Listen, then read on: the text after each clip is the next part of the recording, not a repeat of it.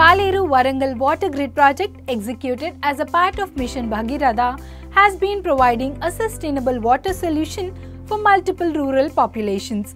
Commissioned in March 2019, this project is transforming the lives of residents in 1694 settlements across 17 mandals of Warangal rural and Mahbubabad districts as well as one mandal in Khammam district.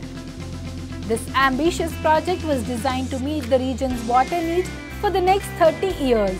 Water for this grid is being sourced from the Paleru reservoir which feeds into a 170 million litre per day water treatment plant constructed in Madaripur, Khammam district. This facility is the first and largest water treatment plant under Telangana's Mission Bhagiratha.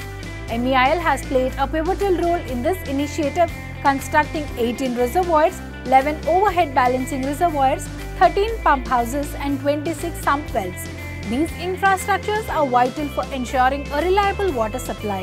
To facilitate water distribution, an extensive network of more than 2,600 kilometers of pipelines has been laid along with 2,500 kilometers of permanently lubricated high-density polyethylene duct for internal connections. This project has significantly enhanced access to clean drinking water and promoted healthier communities, paving the way for improved living standards in rural areas.